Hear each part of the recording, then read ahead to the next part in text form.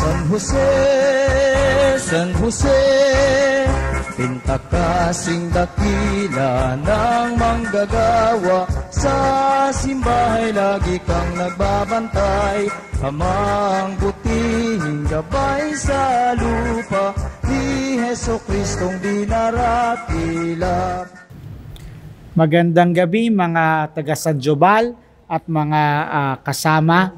Uh, simulan natin. Welcome to Wednesday with San Jose sa unang Miyerkules ng buwan ng Nobyembre.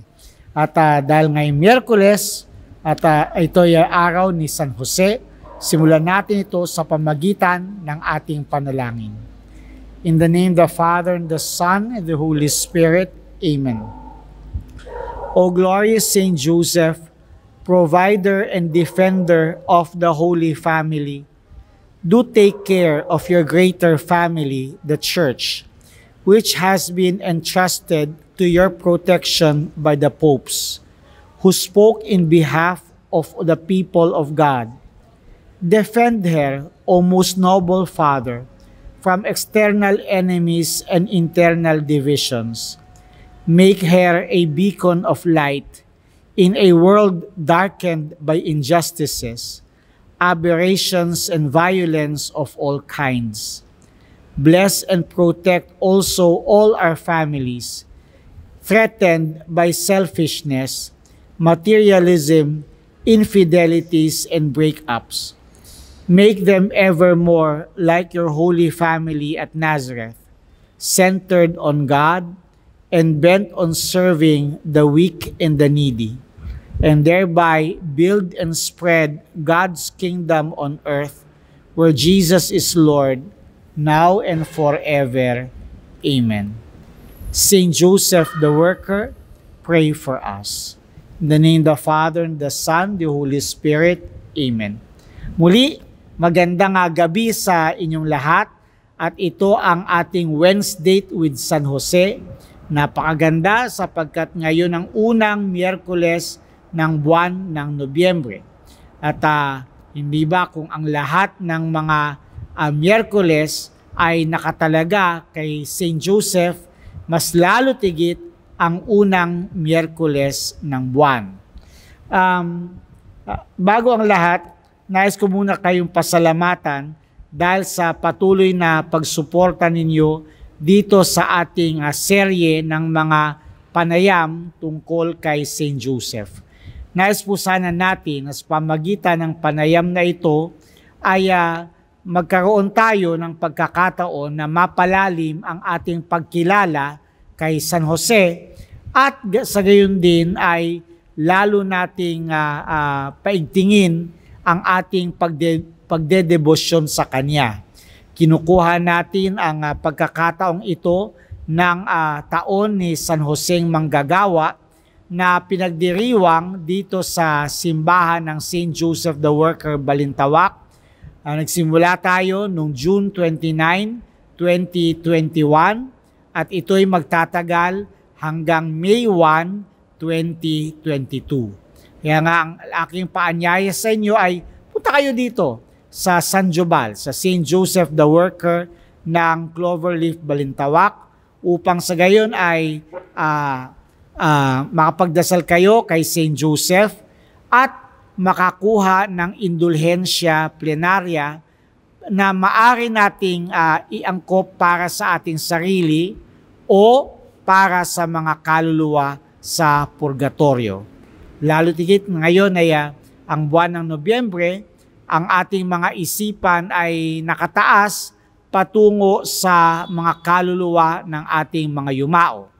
At isa sa mga mabibisang paraan para tulungan sila sa na makalaya mula sa uh, purgatorio at makapasok sa langit ay sa pamagitan ng paglilimos sa kanila ng indulhensya plenarya na ating natamo kapag tayo ay nagpupunta dito sa St. Joseph the Worker, Cloverleaf, Balintawak, at uh, tayo ay uh, uh, at tayo ay nagdarasal para kay Pope Francis. Kanina, bago tayo nagsimula, nakita ninyo ang uh, isang maiksing uh, uh, video na ginawa ng mga katekista ng Diocese ng Cubao uh, sa pakikipagtulungan ng uh, Prayer Warriors of the Holy Souls. At syempre, uh, si David na ating kasama dito. At uh, ginawa, gumawa sila ng isang programa o isang, uh, isang uh, serye ng mga video na tungkol sa talum, talambuhay ng mga santo. Itong buwan ng Nobyembre, isang santo, one saint a day ang inilalahad ng mga katekista uh, over our FB page, St. Joseph the Worker, Parish Cloverleaf, Balintawak, o kaya naman ay sa YouTube channel na Sense of the Sacred. Para lumalabas yata every 5 o'clock p.m. So subaybayan po ninyo. Maganda ito. Okay? Para lalo nating uh, take advantage natin yung buwan ng Nobyembre Okay? Hindi, la, hindi lamang yung mga patay ang ating pag-usapan, kundi let us take inspiration mula sa buhay ng mga santo. At uh, ngayon, kanina, kanina nakita ninyo yung buhay ni San Martin de Porres, one of my favorite saints. Okay, one of my favorite saints. Na in love ako sa figure ni San Martin de Porres dahil sa isang report ng aking classmate sa graduate school doon sa UST. Okay, he, he reported on kasi may kaming subject ng hagiography, no? ang buhay ng mga santo at uh, he reported on Saint Saint Martin de Porres at talagang doon na-inspire ako sa kababaang loob mismo ni San Martin de Porres. Okay? So, nung nakarang linggo, nakita natin kung paanong uh, napili si Papa Joseph bilang asawa ng mahal na Birheng Maria. Sinabi natin na uh, sa pamagitan ng isang mapaghimalang pag-usbong ng mga bulaklak at ng mga nuts, yung almonds, no?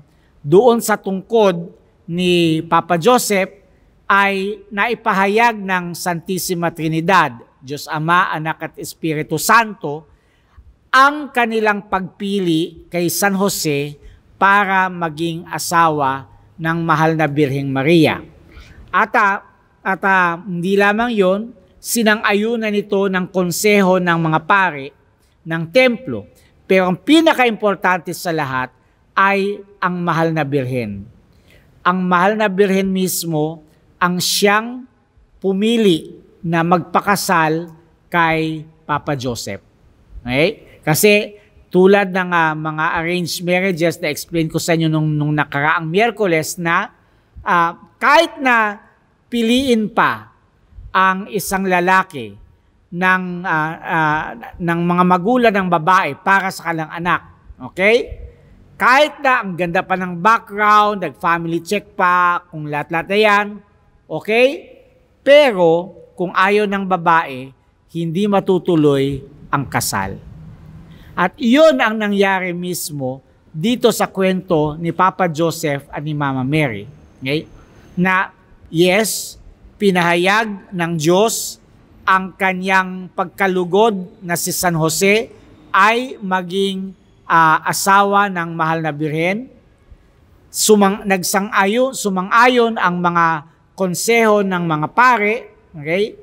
At uh, at at nais sila na oh, tama, si San Jose nga ang nababagay na asawa ng dalagang si Mama Mary. Pero, pero, kung hindi pumayag si Mama Mary, kung hindi niya natipuhan si Papa Joseph, walang kasal na magaganap. So, pagpatuloy natin ang pagtingin natin sa kwento ng, uh, ng ni Papa Joseph. Okay? So, uh, ikinasal si Papa Joseph kay Mama Mary. Okay? Kinasal si St. Joseph, si San Jose, sa mahal na Birheng Maria. Ngayon, sa tingin ko, popular na popular sa atin yung kwento ng pagbabalita ng anghel kay Maria na siya hinirang o pinili ng Diyos para maging ina ng Diyos anak kapag siya ay nagkatawang tao na dito sa lupa. Okay? So, uh, dumalaw ang, ang isang anghel, pinabatid sa kanya, Maria, mapalad ka, matuwa ka, Maria, punong-puno ka ng grasya, sumasa yung Panginoon. Okay? Tapos sinabi niya, pinili ka ng Diyos para maging ina ng kanyang anak. At mamanahin niya ang uh, ang uh, luklukan ni Haring David at ang kanyang paghahari ay uh, magpasawalang hanggan. At uh, ang sabi ng mahal na biren, eh, uh, paano mangyayari ito? Wala akong nakikilalang lalaki. Sabihin, she has never become intimate with any man or in other words, virgin pa ako. Eh, virgin pa ako. So paano ako manganganak? Paano ako paano ako magkakaroon ng anak? Well, sabi ng, ng anghel, well, lulukuban ka ng Espiritu Santo. Dahil dito, ang bata sa sinapupunan ay, uh, ay uh, dahil dito ang bata sa iyong sinapupunan ay tatawaging anak ng kataas-taasan. Okay? Anak ng kataas-taasan. Ipamamana ng Diyos sa kanya ang trono ng kanyang amang si David at ang kanyang at ang kanyang uh, kaharian ay walang hanggan. At sinabi ng, ni Mama Mary, ako ang alipin ng Panginoon, maganap daw sa akin ayon sa wika mo at tulad nga sa sabi ng pag-angelus, at ang verbo ay nagkatawang tao at nakipanayam sa atin. Una, ang konteksto. Kailan nangyari ang Annunciation? nangyari ang annunciation sa kalagitnaan ng dalawang uh, bahagi ng kasal ni Papa Joseph at ni Mama Mary. Paliwanag natin yun ha. Kasi ang ang sasabi ng ilang mga tao ay Mary was betrothed to Joseph. Okay? Itinakda ng pakasal si Maria kay Saint Joseph. Itinakda ng magpakasal. Okay? At uh, doon nangyari yung uh, yung uh, doon nangyari yung pagpapakita ng anghel at yung pagdadalang tao ng mahal na birhen. Pero alam po ninyo, ang uh, namayapang teacher ko na si uh, Monsignor Sabino Venco, sumalangit na ang kanyang kaluluwa. Okay? Pero sabi niya na uh, yung kostumbre daw ng mga Hudyo tungkol sa kasal, ang betrothal daw ay bahagi na ng kasal. Sa katunayan nga, sasabi ng aking uh, ng aming professor na si Mr. Venko, sasabi niya na uh, uh, sa, sa kaugalian ng mga Hudyo, sa kaugalian ng mga Israelita, ang kasal ay ang, ang ritual ng kasal ay uh, ay uh, ang ritual ng kasal ay mayroong dalawang bahagi. Ang unang bahagi ay ito na pupunta ang uh, darating ang lalaking uh, magpapakasal at ihingi niya, hihingin niya ang kamay ng babaeng kanyang pakakasalan. Yun yung tinatawag natin betrothal. Pero sabi ni Mr. Venko, yung betrothal na yon sa ating paningin, noon daw ay uh, talagang kasal na. Okay? Ito'y talagang kasal na. Ito yung unang bahagi ng ritual ng kasal. Yung paghingi sa uh, pagkakasundo na sila ay magsasama bilang mag-asawa. Pero pagkatapos ng kasunduang iyan, ay aalis ang lalaki at binibigyan siya ng isang taon para maipagpatayo ng bahay ang kanyang asawa.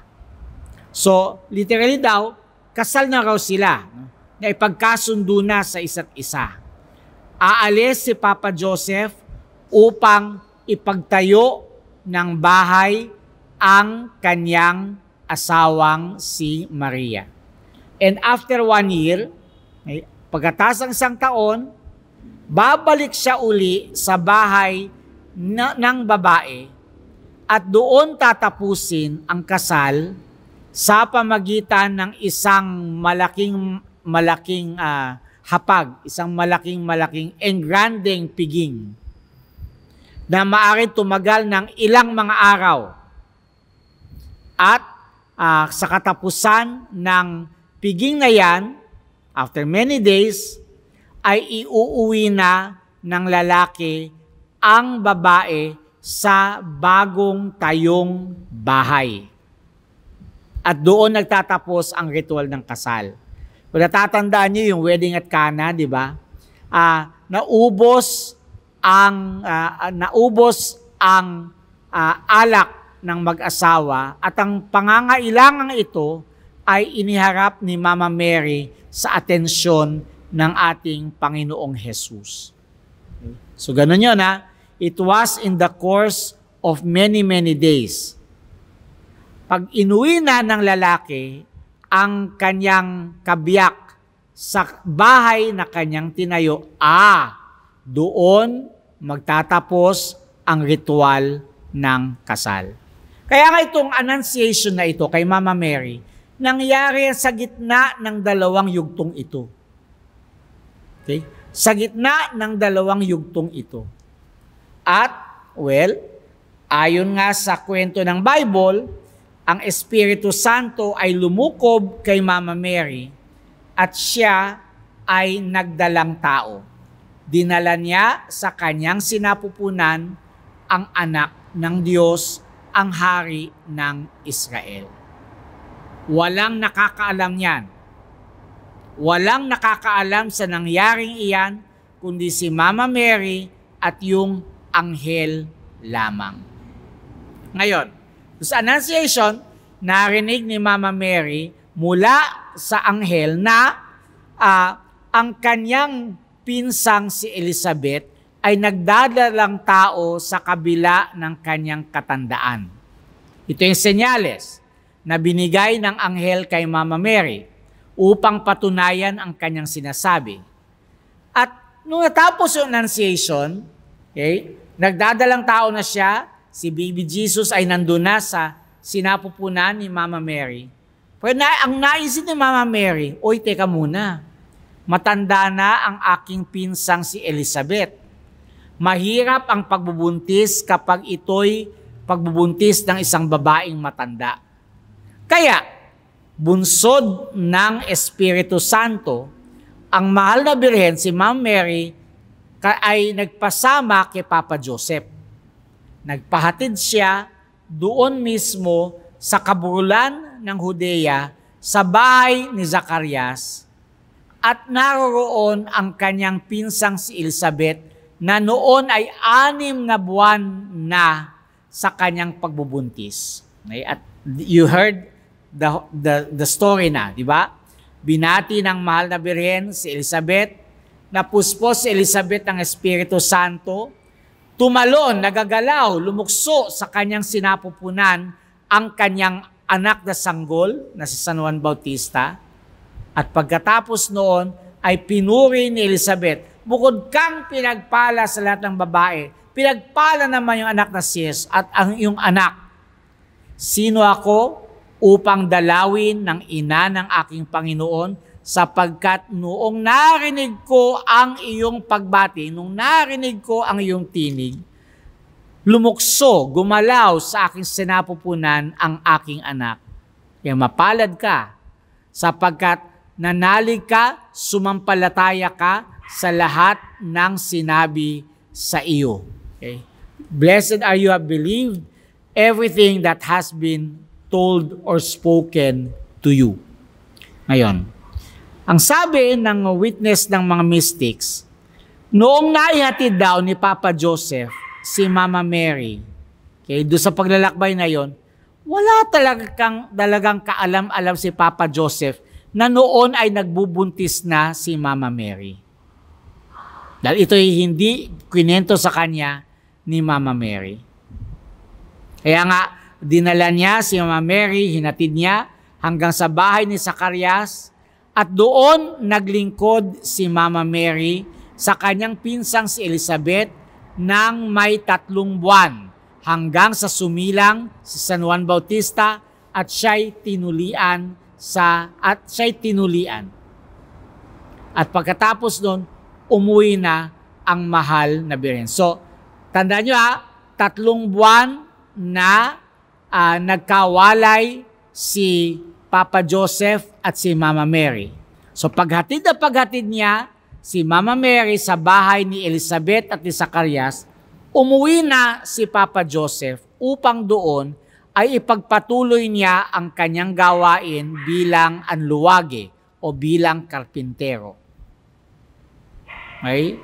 At uh, the next time na nakita ni Papa Joseph si Mama Mary ay after three months noong si Mama Mary ay nagbalik sa kanilang bayan sa Nazaret. At doon, unti-unti nang napapansin ang paglobo ng tiyan ng mahal na Birheng Maria.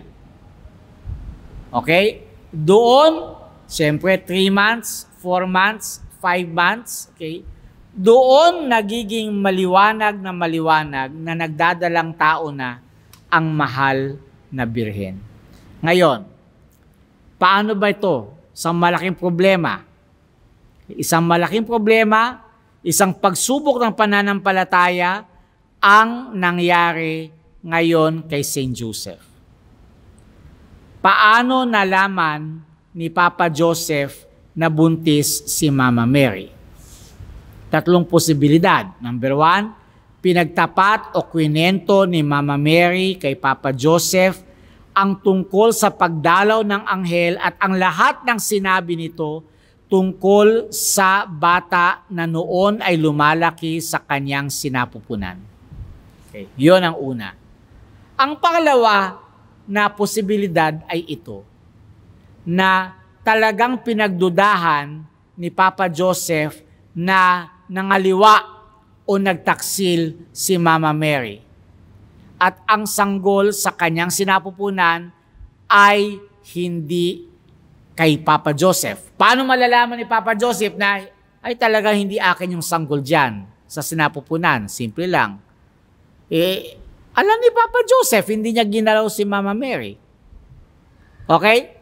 Hindi ginalaw ni Papa Joseph si Mama Mary bago dumating yung yugtong iyon na nagbubuntis si Mama Mary. Kaya, isipin mo naman, ikaw yung lalaki, hindi mo sinipingan ng iyong asawa, pero nagdalang tao, bigla ka nagbilang. Oh, hindi naman tayo nag ano na, hindi naman tayo nagniig na. Okay? Hindi naman tayo nag-sex nun. So, paano mangyayari yon? Buntis ka. So, may pagdududa.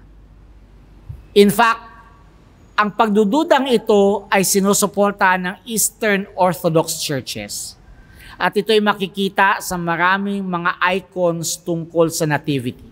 Makikita doon sa nativity uh, icon si Mama Mary na nakahiga sa isang kutsyon na pula.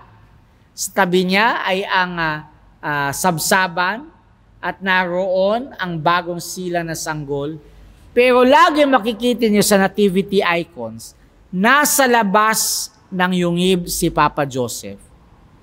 At parang nag-iisip. Parang malalim na malalim ang pag-iisip. At doon ipapakita ang isang matandang lalaki na nagkunwari na siya'y pastol. Pero actually, yon ay ang demonyo. At uh, uh, doon ay tinukso na tinukso ni ng demonyo itong si Papa Joseph. Okay? Tinukso ng demonyo si Papa Joseph. At uh,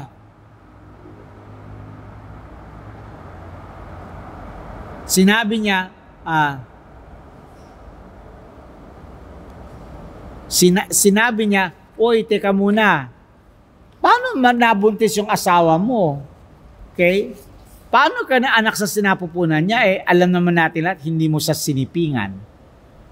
Eh, hindi ka nakipagniig sa kanya. Okay? So, uh, nandun siya, nagdududa siya, okay? Nagdududa siya, the, the, the, uh, mula sa mukha ni Papa Joseph, ay kitang-kita sa mga icons yung pagiging des, des, desperate niya, okay? At yung kanyang kalungkutan uh, dahil sa uh, uh, mga sinasabi ng uh, demonyo. Okay? Eh, it was really uh, rewarding. Rewarding. Pero may pangatlong posibilidad. At ano yung pangatlong posibilidad? Walang sinabi si Mama Mary sa kanya. Tahimik si Mama Mary tungkol sa kanyang pagdadalang tao. Pero si Papa Joseph mismo ang nakapansin ng pag-iiba ng hubog ng katawan ni Mama Mary. Nakita niya ang lumalaking tiyan ni Mama Mary. Nakita niya yon. Okay? At uh, uh, well, ang sabi dito, uh, ang sabi ni sito, si Maria Greda, no? sabi niya na uh, noong ikaw limang buwan ay naging obvious the obvious kay Papa Joseph na nagdadalang tao ang kanyang asawang si Maria at nasaktan ang kalooban ni Papa Joseph. Nasaktan ang pinakakalooban ni Papa Joseph. At ano ang pinanggalingan ng kanyang kalungkutan? Well, uh, na nanggaling ang ang kanyang kalungkutan sa ang sabi dito. Sorry, malabo na mata natin. Okay? Ang sabi dito ay uh, uh, the principal cause of his grief was the most intense love with which he cherished Mary. Mahal na mahal na mahal ni Papa Joseph si Mama Mary. Pero nandoon ang katiyakan na wala siyang kinalaman sa pagkakaroon ng sinapupunan ng mahal na birhen. Kasi dapat niyang alam yon. Kasi hindi niya talaga ginalaw. Hindi niya ginalaw, hindi niya tinanggal ang pagkabirhen ng kanyang asawa. And this cost him the deepest pain. It cost him the deepest pain. So malalim na malalim yung sakit na dinulot niyan. Number one, na, uh, number one, mahal na mahal niya si Mama Mary, pero number two, alam niya, hindi kanya ang sanggol sa sinapupunan ni Mama Mary. At they do not they did not confront each other. They did not confront each other. Our Lady bore it all in silence. And Papa Joseph did not confront Our Lady. He did not confront the Virgin Mary. He kept his observations to himself. Okay? Inilihim niya ito sa kanyang puso. Inilihim niya sa kanyang puso ang kanyang pagtataka sa tila bagang pagbubuntis ni Mama Mary.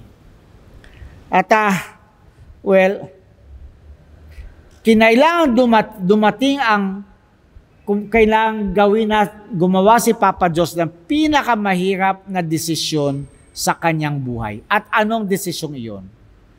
Ang iwanan si Mama Mary nang hindi siya hinihiya sa publiko. Bakit ayaw isakdal ni Papa Joseph si Mama Mary ng pangangaliwa? Okay? Bakit hindi niya pinagtabuyan sa mga korte si Mama Mary? Tulad ng ginawa ng mga tao, ng mga, mga matatanda ng bayan, sa babaeng makasalanang nahuli na kikiapin. Dalagang kinaladkad nila yung babae sa harapan ng Panginoong Hesus. Sinabi ang kalang kaso at inantay na patawan ni, ni Jesus ang babae ng death penalty, ang pamato, pamamato. At alam ni Papa Joseph ang batas. Alam ni Papa Joseph na oras na matagpuan si Mama Mary na nagdadalang tao ng walang asawa, malamang sa malamang talagang babatuhin si Mama Mary hanggang mamatay. At hindi kakayanin ito ni Papa Joseph. Kaya nga siya ay nagpasyang tahimik na lang na umalis. Tahimik na lang, uh, tahimik na lang na mawala sa buhay ng mahal na Birheng Maria. Hindi siya gumawa ng anumang uh, ng anumang uh, hindi siya uh, sorry gumawa ng anumang iskandalo hindi niya iniskandalo si Mama Mary. Hindi niya iniskandalo si Mama Mary.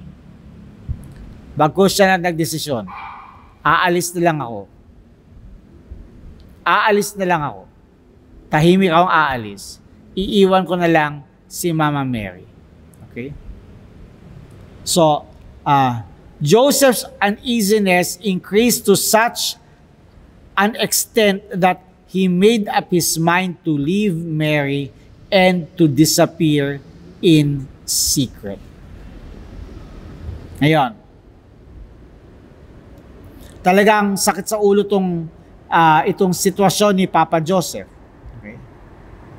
Ang tanong dito, ang siyon nagdala ko sa isipan niya, talaga bang nakatakda kami, it, itinadhana kami ni Maria na magpakasal?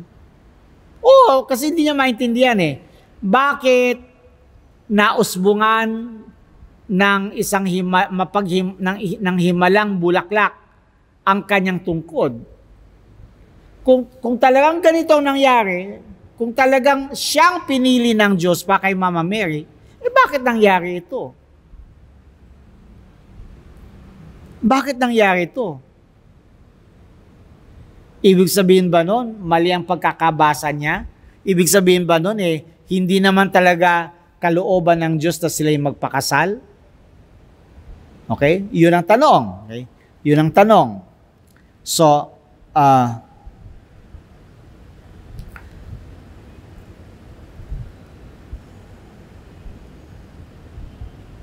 saan ang galing batang to?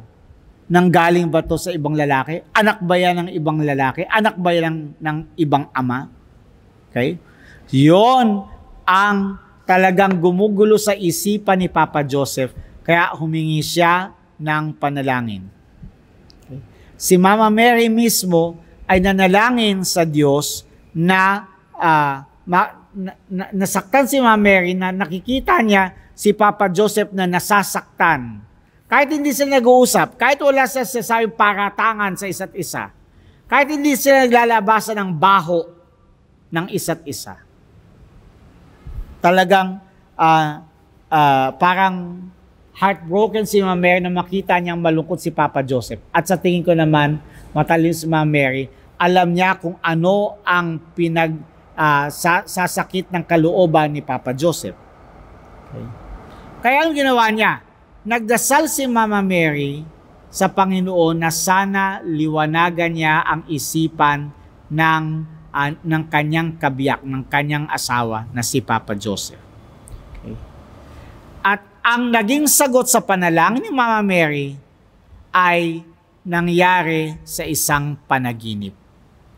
Sa isang panaginip, nagpakita ang anghel kay Gabriel kay Papa Joseph at sinabi niya, Joseph, anak ni David, huwag kang matakot na tuluyang pakasalan si Maria sapagkat ang bata sa kanyang sinapupunan ay lalang ng Espiritu Santo.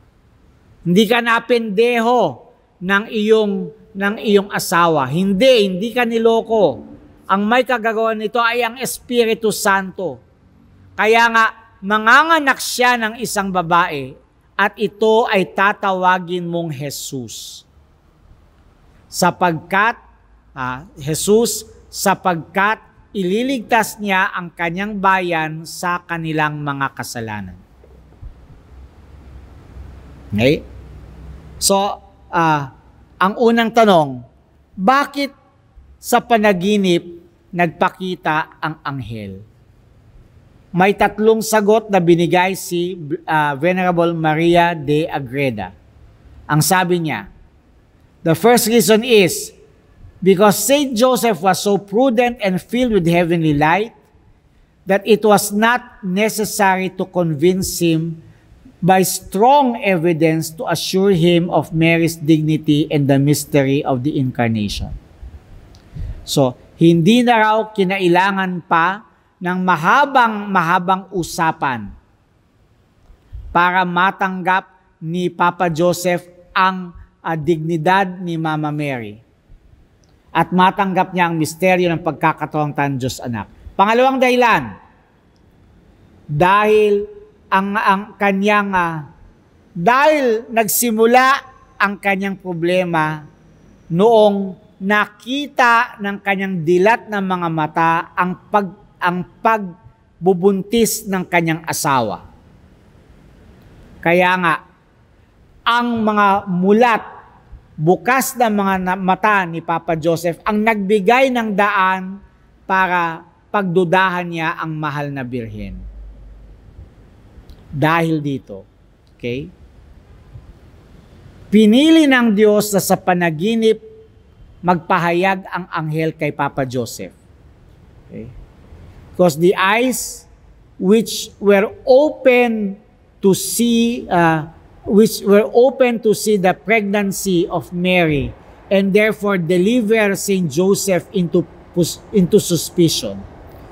Kailangan ngayon nakapikit ang mata ni Papa Joseph sa pamagitan ng isang, panana, ng isang panaginip. Okay? At uh, kinailangang nakapikit tulog si Papa Joseph para makita niya ang sinasabi ng anghel. Ikatlo, nararapat lamang na sa panaginip ipahayag ito ng anghel Okay? Sapagkat uh, ang mga senses ni Papa Joseph na nagbigay ng nagbigay ng uh, iskandalo sa kanya at nagpalungkot sa kanya ang mga senses na ito sa panaginip ay suspended. So Joseph is in the state of peace and tranquility of the spirit. Ngayon, tina ito. Matapos ipahayag ng anghel ang kanyang mensahe kay Papa Joseph sa isang panaginip, agad-agad bumangon si Papa Joseph sa kanyang pagtulog at ginawa niya ang mga pinagagawa sa kanya ng anghel. O, tingnan ito ha. Babalik tayo sa dalawa pang lalaki na halos ganoon ang sitwasyon ni Papa Joseph. Una, si Abraham. Si Abraham ay matanda na. Okay? Si Abraham ay matanda na. Ang sabi ng uh, ang sabi ng aklat ng ang sabi ng aklat ng Genesis na uh, si, si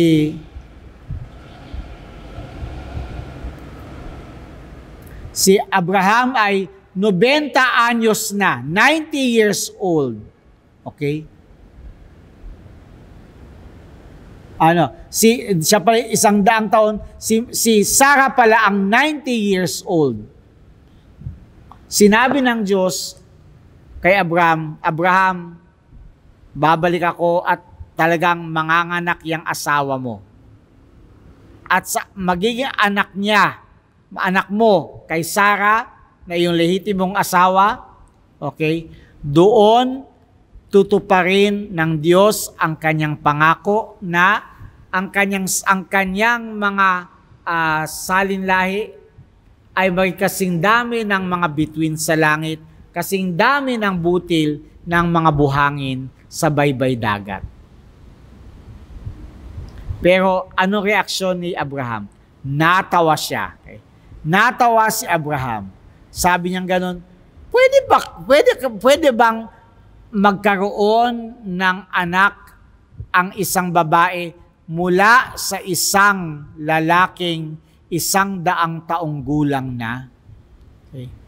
Sarah was 90 years old and Abraham was 100 years old noong nagbuntis si Sarah. Noong nagbuntis si Sarah. Pangalawa, pangalawang tao, si Zacarias na tatay ni Juan Bautista. Pakita ang anghel kay Zacarias, Zacarias, tinignan ng Diyos ang inyong panalangin, bigyan ka ng anak. Pero hindi magawang maniwala ni Zacarias. Bakit? Kasi siya ay matanda na, si Elizabeth matanda na, paano mangyayari ito? At dahil dito, binigyan ng anghel si Abraham na uh, si si Juan Bautista ng isang palatandaan. Ano 'yun? Mapipipi ka, hindi ka makakapagsalta hanggat hindi natutupad ang lahat ng sinabi ko sa iyo. Mapipipi ka. At siya nga nangyari, napipi nga si Zacarias. Tiyan to ha, yung anak, okay, nagpahayag ang Diyos kay Abraham tungkol sa panganganak ng kanyang asawa, natawa si Abraham. Pinahayag ng anghel kay Sakarias na magbubuntis si uh, mag, na magbubuntis ang asawa niyang si Elizabeth. Nagduda si Sakarias, kaya siya'y napipi. So, tingnan niyo ha, si Abraham natawa. Si Sakarias, nagduda, napipituloy. Pero si Papa Joseph, walang tanong-tanong. When he woke up, immediately he did what the angel was saying to him. Di siya natawa, di niya pinagtakahan, di siya nang hingi ng ebidensya, wala. Basta pagkabangon niya, ginawa niya ang hinihingi ng anghel mula sa kanya. At doon makikita yung kainaman nung pananampalataya ni Saint Joseph. Yung yung uh, uh, ito yung pagpapasakop ni Papa Joseph sa kalooban ng Diyos. Mahirap bang isipin, pero yun ang nangyari. Naging masunurin si Papa Joseph. Okay? And dahil dito, dahil tinupad niya ang sinasabi ng anghel, si Papa Joseph ay nagkaroon ng isang mahalagang, mahalagang, mahalagang papel na uh, uh, sa gawain ng kaligtasan. Okay? Sa gawain ng kaligtasan. Agad sinunod niya ang anghel ng Panginoon. Okay. Sinunod niya ang anghel ng Panginoon. Walang duda. At dito natin makikita yung kainaman ng uh, yung kainaman ng pananampalataya ni St. Joseph. Teka muna, Father, bakit ba kailangang virgin ang magiging nanay ng Mesiyas? Ah, maganda paliwanag dyan. Ang paliwanag ito, Number one, nararapat na ang Mesiyas ay sumilang mula sa isang birhen para malaman ng lahat na ang kaligtasan ay hindi nagsisimula sa tao, kundi ito ay nagsisimula sa Diyos. Okay? Ito ay hindi nagsisimula sa tao. Salvation does not come from man. Salvation comes from God. That is why the virgin has the, the mother of the Messiah will become mother not because of any intervention of any male human being. Pangalawa, kailangang maging birhen ang nanay ng Mesiyas sapagkat si Jesus ang bagong Adan. Si Jesus ang bagong Adan. 'Di ba si Adan walang ama, walang ina, walang nagsiping para ipanganak si Adan. Ganun naman, si Jesus, dahil sa siyang bagong Adan, walang nagsiping para siya ay pumasok dito sa daigdig. He is the new Adam. At pangatlo, being the new Adam, Jesus ushers in a new economy, a, a new uh, a new system. And that is the new creation. Sa paano kung paanong ang Espiritu Santo ay lumukob sa mahal na birhen, kaya't nagbunga ang kanyang sinapupunan. Gayun din naman, ang Espiritu Santo ay lumulukob sa mga tubig ng binyag upang doon ay magsimula ang mga bagong nilikha. Number four, ang pagkabirhen ni Mama Mary ay palatandaan ng kanyang buong-buong pag-aalay ng kanyang sarili. Buong-buong pag-aalay ng kanyang sarili. Mary loved God with an undivided heart. Okay. Kaya ito yun. Talagang matinding-matindi yung pinagdaan ng krisis na subukan talagang pananampalataya ni Papa Joseph. Pero sa bandang huli, nung nilinaw na ng anghel sa kanyang lahat, sinunod niya ng walang kaabog-abog ang lahat ng sinabi sa kanya ng anghel. Manalangin tayo. Panalangin kay San Jose sa kanyang yubileo. Sa ngalan ng Ama at ng Anak at ng Espiritu Santo. Amen. Amang San Jose, ulirang asawa, mapagkandiling ama, at maasang tagapagtaguyod ng banal na mag-anak. Sa iyo pinagkakatiwala ang Iglesia Katolika. Kaya naman, sa pagdiriwang ngayon ng iyong yubileo dito sa Balintawak, dumudulog ako sa iyo sa oras na ito ng aking pangangailangan. Narinig ko po ang kabantugan ng inyong panalangin. Wala po kayong pinababayaan sa sino mang lumalapit sa iyo dinggin po ninyo ang aking pagsusumamo. Lingapin po ninyo ako sa inyong makaamang pagkalinga. Pinakinggan ni Jesus ang iyong tinig nung nagpasakop siya sa inyong kapangyarihan. Kaya naman, nagtitiwala ako sa kapangyarihan ng iyong panalangin. Ipinagdarasal ko ang lahat ng mga mahal sa akin. Gayun din naman, tinataas ko sa inyo ang aming Santo Papa na isa sa mga namimintuho sa iyo Pinagdarasal ko rin po ang bayang Pilipinas, manatili sana kaming tapat sa pananampalatayang katoliko. Dumami sana ang makabatang tutugon sa tawag ng pagpapari at buhay reliyoso. Gayun din naman, ipagtanggol at patatagin po ninyo ang mga mag-anak na humaharap ngayon ng maraming pagsubok at panganib. O mahal naming San Jose, ilapit po ninyo kaming lahat kay Jesus at sa mahal na Birhen Padaluin po ninyo sa amin ang mga makalangit na biyaya na pumuspos sa inyong munting tahanan sa Saret. Tumulad nawa kami sa inyong pagkauliran at pagkamaasahan upang sa pagwawakas ng aming buhay, maging karapat dapat kami sa mga pangako ni Kristong aming Panginoon. Amen. Para matanggap natin ang indulhensya ng simbahan ng San Jobal, na maari nating ilimos sa mga kaluluwa ng mga yumao Manalangin tayo pa kay Pope Francis.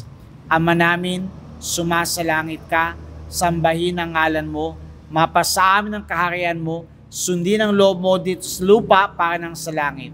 Bigyan mo kami ngayon ng aming kakanin sa araw-araw at patawarin mo kami sa aming mga sala para ng pagpapatawad namin sa kakasala sa amin. Huwag mo kaming paintulstukso, iadya mo kami sa lahat ng masama. Amen. Aba, ah, Sumasampalataya ako sa Diyos amang makapangyarihan sa lahat na may gawa ng langit at lupa. Sumasampalataya ako kay Heso Kristong isang anak ng Diyos, Panginoon nating lahat. Nagkatawang tao sa lalang ng Espiritu Santo, pinanak ni Santa Mariang Birhen, pinagpakasakit ni Poncio Pilato, pinako sa krus ng matay ni Libing. Nanaos ka naroroon ng mga yumao, nang may katlong araw na buhay ng guli, umakyat sa langit, naluluklok sa kanan ng Diyos amang makapangyarihan sa lahat. Doon magmumulang paririto at hukom sa nangabubuhat ng matay na tao. Sumasampaltam na ako sa Diyos Espiritu Santo, sa banal na simbahang katolika, sa kasamahan ng banal, sa kapatawaran ng mga kasalanan, sa pagkabuhay na muli ng namatay na tao, at sa buhay na walang hanggan. Amen. Jesus, Maria, Jose, basbasan niyo kami ngayon at kung kami mamatay. Amen. Sumay niyo ang Panginoon at pagpalain kayong lahat ng makapangyarihang Diyos, ang Ama at ang Anak at ang Espiritu Santo. Amen. Maraming maraming salamat po sa matyaga niyong pagsubaybay. Sana po magkita-kita ulit tayo sa darating na Miyerkules para ipagpatuloy natin ang ating pagninilay sa buhay ni San Jose. Sana po maraming uh, makinabang sa panayam na ito kaya please, don't forget to like and to share. God bless you all. Walang tunghayang loob sa iyo, sa gaway tulungan at nangumunlad, ang buhay na sa'yo'y matulad. Sa tulo ng pawis at banat ng laman Sa gitna ng hirap at kasipayuan Kami magsisikap, magbagong dangal Sintang pintakasi kami tulungan. O San Jose, O San Jose.